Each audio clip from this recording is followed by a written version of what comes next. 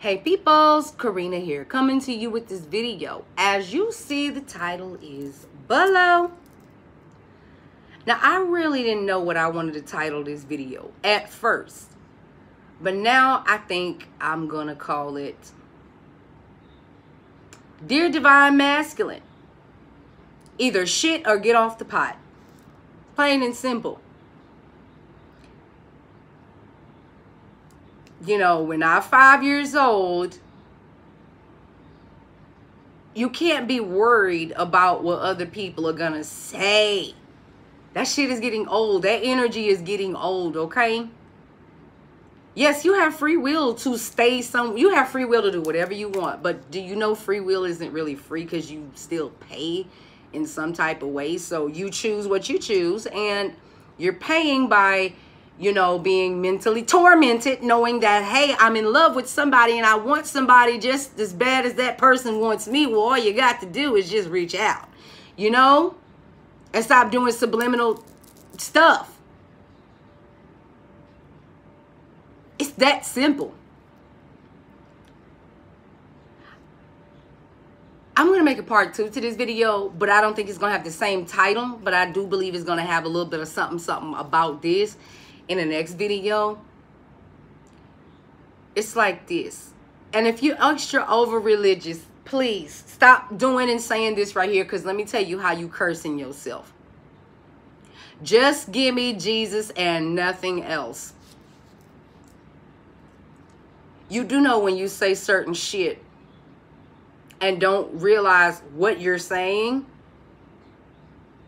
Satan can get in on the technicality and be like, okay, well, I can fuck with the happiness and I can fuck with this and I can fuck with everything around because this person said, just give me Jesus and nothing else. Just give me God's love and nothing else. Or just let just let the universe I can't say it. Just let the universe be in my favor and everything I do. Uh just let the just let the universe love me. Okay? Just let God love me. Just give me Jesus and nothing else. And then everything else ain't got to come to you. Why? Because you stated out of your mouth that that was all you wanted.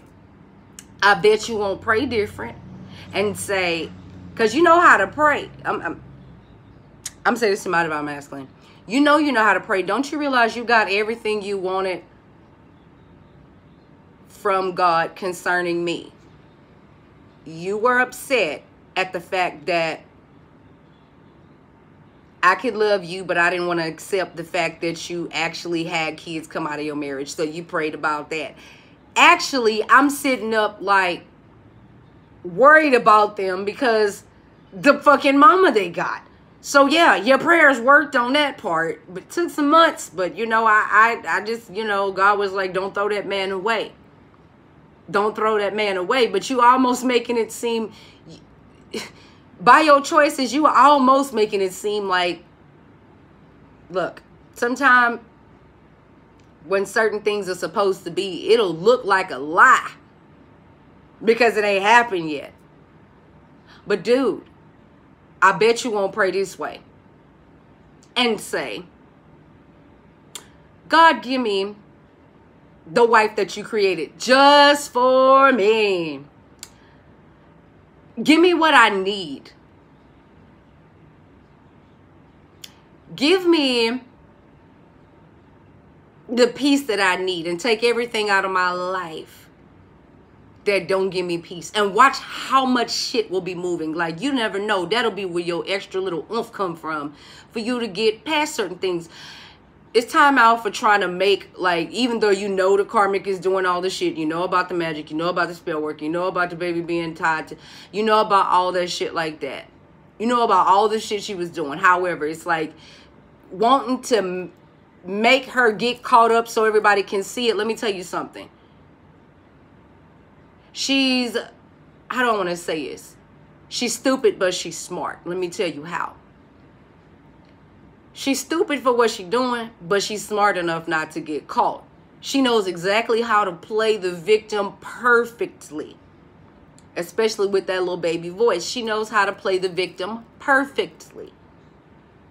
She knows how to move the way that she needs to move with cadence to execute that thing, to lock you in that thing.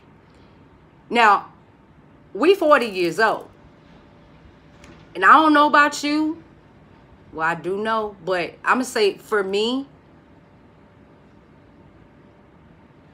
I choose not to actually, ugh, I be getting, you know, asked out this that and all kinds of shit and people telling me about they oh i'm trying to be celibate before i get married shit be like you know what? And i was open and honest and i said what the fuck i was gonna say. I'm dealing with some things that you might not understand and um that's it. And if a person keeps picking and picking and picking i'll be like look wouldn't that suck for you to marry somebody?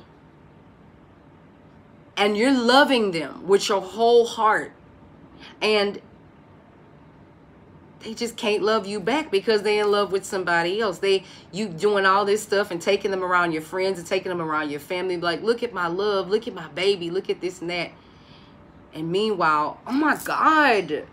My window is open and my neighbors are barbecuing and i seen a little gnat fly up in here. Oh my god. Fuck it, I got spray and shit. Anyway, I'm gonna go wash clothes in a little bit, so take care of all of that in a little bit. I'm just glad that smoke is blowing the other way and not up here. It's about to blow my own smoke. But anyway, and it's windy outside too, so I know y'all can hear my wind charm. And my door moving. but anyway, Well, I'm not saying vote it.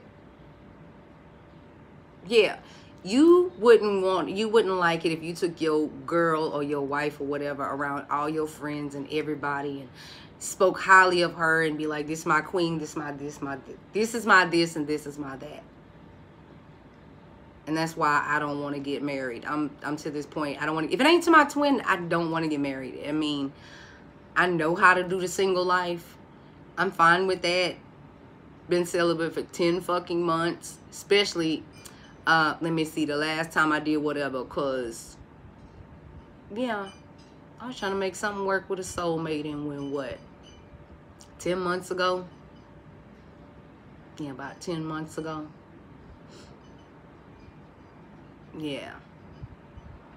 And crazy baby mama did all her shit did all the same shit that that the uh dms karmic is fucking doing and you know what? That bitch is under the ground so you keep on karmic i mean and that was just a soulmate but why she did all the shit she done was because she went and she found out oh he's saving money so he can um proposed to her. He's already talked to her about it. He'd been locked up in a marriage the same way that I was on paper with somebody for 10 years, which is exact some exact amount of time that it took me to get the fuck away from my son's daddy, my ex-husband, first ex-husband. So it's like, okay, he was like, man, I just want everything to be so right for this, that, you know, I want I want, especially since like his little girl actually liked me. Oh yeah, but after the mama died and all her fuck shit like that, yeah, the baby got removed out the home and she, um,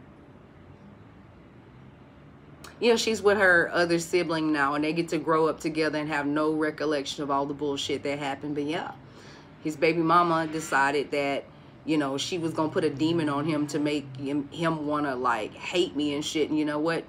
He had like so much fucking love work done on him that he was kind of like dazed and out of I was like I'm done done done I don't know why everybody want to try to make copycats of what the fuck you fucked up now he got another bitch like that's like wow so you just gonna tell this bitch to dye her hair red make me understand shit and my DMs karmic just barely like she with this black hair dye all of a sudden. That's crazy though, because my ass was thinking about dyeing my hair black and some told me, nah, don't do it. And that's probably why.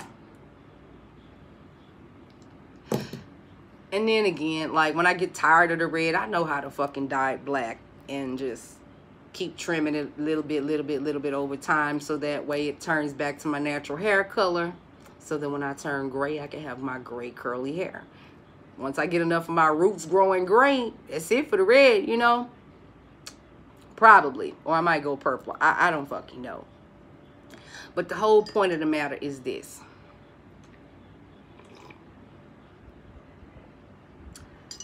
Oh, and I know you're probably wondering, like, did I actually love that soulmate? I felt like, I put it like this. I had love for him.